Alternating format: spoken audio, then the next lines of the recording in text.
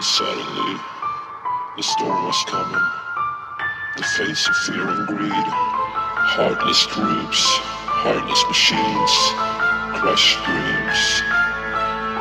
We're buried and alone, beaten by the throne, with a beaten and a.